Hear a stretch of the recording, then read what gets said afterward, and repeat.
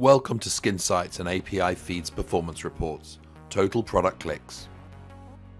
Sourcing Machine keeps a record of all the clicks your products have had across our Skin Sites and API data feeds.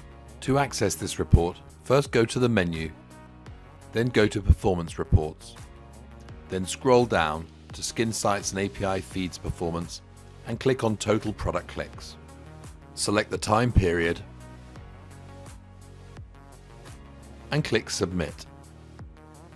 The performance report will show the total number of clicks that your products have had across all of our distributor skin sites and API data feeds during the time period selected.